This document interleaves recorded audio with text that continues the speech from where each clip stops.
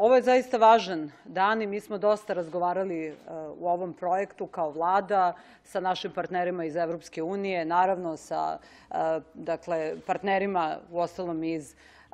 regiona i dosta je bilo polemike i u javnosti oko važnosti ovog projekta, ali znate, reći će vam svaka država članica koja je Evropske unije, koja je koristila i predpristupne fondove tokom pregovora, a i kohezione fondove nakon članstva, da ulaganje u infrastrukturu nikada nije bačen novac i nikada nije na pogrešan način utrošen novac. To je nešto što ne samo povezuje, već je zaista na korist pre svega građanima, a mi smo svi ovde da radimo zaista u interesu unapređenja kvaliteta života svih građana Srbije, regiona, Evropske unije. Ovo je deo jednog projekta transevropskih mreža, E, inače, Srbija je i pripremila poglavlje e, i 14 koje se tiče i 21 koje se tiče transporta i transevropskih mreža. Čekamo na njihovo otvaranje, ali evo u praksi pokazujemo da smo zaista aktivan deo e, onoga što jesu transevropske mreže, što jesu putevi povezivanja i što će na kraju dovesti do višeg privrednog rasta, više posla i ukupno bolje povezanosti svih u regionu. Jedna od vodećih inicijativa, takozvanih šest e, vodećih inicijativa koju Evropska komisija promovisala u kredibilnoj e, strategiji e, za proširenje iz 2018. godine, dakle jedna od tih šest vodećih inicijativa jeste upravo povezivanje. Dakle, i transportno i energetsko, dakle svaka vrsta infrastrukturnog povezivanja. To je nešto što zaista na konkretan način doprinosi ukupnom privrednom, društvenom i socijalnom napretku i rastu naših društava. E, od ovog projekta svi će imati koristi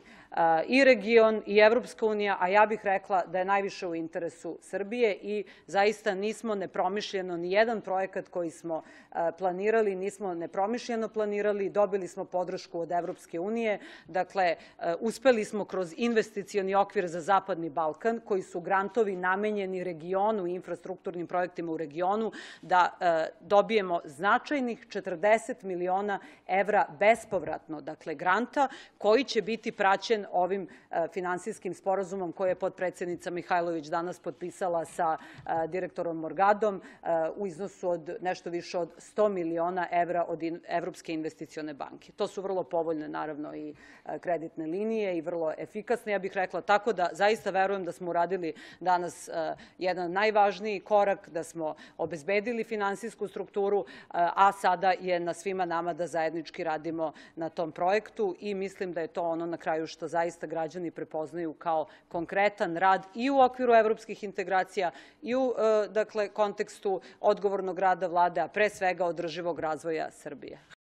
Pored ovog konkretnog odgovora koji, bi, koji je dala već i podpredsednica, znate, vlada Republike Srbije na ovim pitanjima radi sa OEPS-om u kontinuitetu već nekoliko godina i čitav niz koraka, dakle, koji su već preduzimani od 2017. godine, je uz saradnji i na osnovu preporuka koje je Kancelarija za demokratiju i ljudska prava, takozvani ODIR, skraćeno, e, dakle, OEPS-ov mehanizam i Kancelarija za ova pitanja, dala kao svoje sugestije. Prema tome, mi nismo sproveli sve preporuke i sada je akcenat na sprovođenju i ostalih preporuka kojima bi se unapredio dodatno e, dakle, izborni ambijent, odnosno uslovi na osnovu izbornog zakona koji je svojevremeno vrlo hvaljen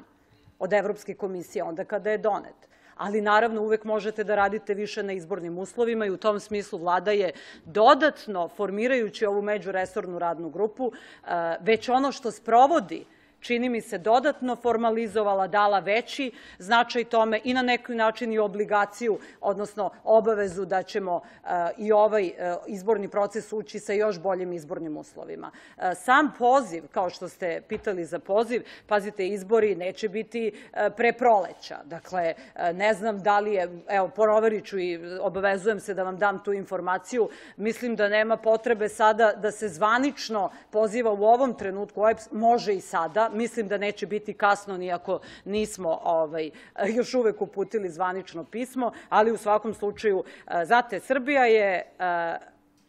front runner. U prevodu to je prednjačeća zemlja ili favorit. Tako se prevodi frontrunner za, za članstvo u Evropskoj uniji. Jedna od prvih lekcija koju morate da savladate su fair i pošteni izbori i e, uslovi u Srbiji za to postoje, ali uslovi, slažemo se svi, mogu da budu i bolji, mogu da se urede dodatno i oko spiskova i oko svega što smo već zapravo dosta i uradili i elektronskih e, dakle, e, baza podataka vezano za izbore i sve drugo što mislim da je sasvim legitimna tema o kojoj se već dijalog, čini mi se, manje ili više uspešan, ali se vodi. Tako da, eto, to je, čini mi se, dodatno sam želela da vam pojasnim, a dobit ćete informaciju naravno o tome da li smo izvanično pismo uputili. Hvala.